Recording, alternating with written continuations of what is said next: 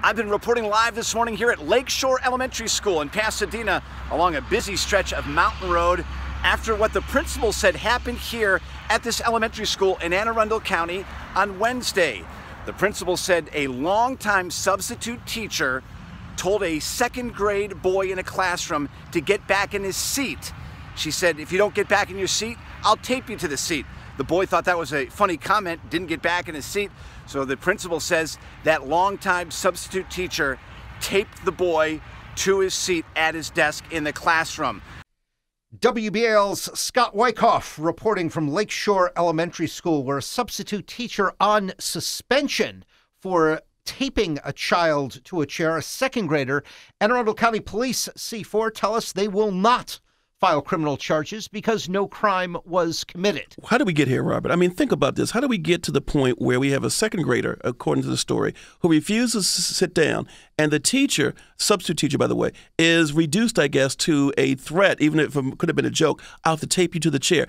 Where we got here, Robert, is teachers are limited in terms of the discipline that they can utilize in schools, and students know it, particularly So- seven year olds, so eight year olds. Teachers should be allowed to do that, to tape children to chairs or put children in trash cans. I don't or- think taping children to chairs is in the manual anymore in terms of doing. But what you should be able to do is, if a student is not following a teacher's instruction, have backup from the principal, have backup from authority to let the children know they don't run the classroom. And Robert, this is tied directly to the stories we're hearing about. I was going to in Baltimore, in Baltimore City. City There were three schools. incidents this week that we know about. Others that uh, we've learned, you know, fights among parents, fights among students. There was a teacher at uh, Dunbar. who was Pepper pepper, sprayed. sprayed. She was trying to break up a fight. Now they don't know whether that was intentionally done to her. Well, the student or- pepper sprayed her. Yeah, I mean, or- it- whether it was or intentional was- or not. She was trying to pepper spray the. Uh, you know, The fact that the the student has pepper spray is Yeah, that- problematic in the that's the first place. And also, there were two other staff assaults yesterday, according to Baltimore City School Police, that weren't reported. According to on Tim Tooten, there were 1,500 different school assaults, uh, student assaults last year in the city of Baltimore documented. The problem, Robert, is no consequence for certain actions. We still don't know what happened to that 17 year old girl that punched that Douglas teacher in the face earlier this month.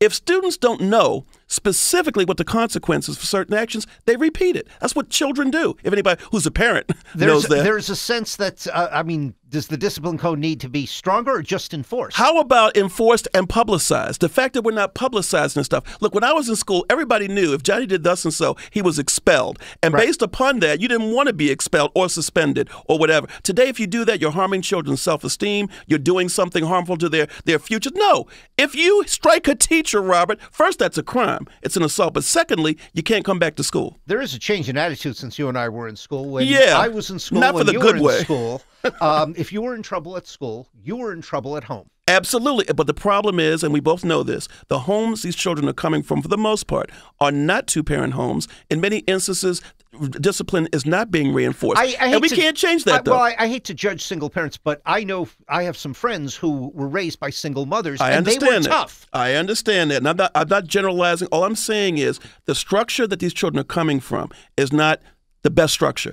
But I, we can't do anything about that. What we can do, though, Robert, is certain behaviors in schools can't be tolerated, and we are tolerated. We're not doing the right thing when it comes to it, to disciplining certain behaviors in schools. You get the sense people are going to complain to the legislature and get Annapolis involved, but what they can't do anything uh, uh, really. Your parents have to stand up. I've said before, parents and teachers. If I'm a teacher and my union is talking about a meeting on January on December the 14th, and I'm being abused today.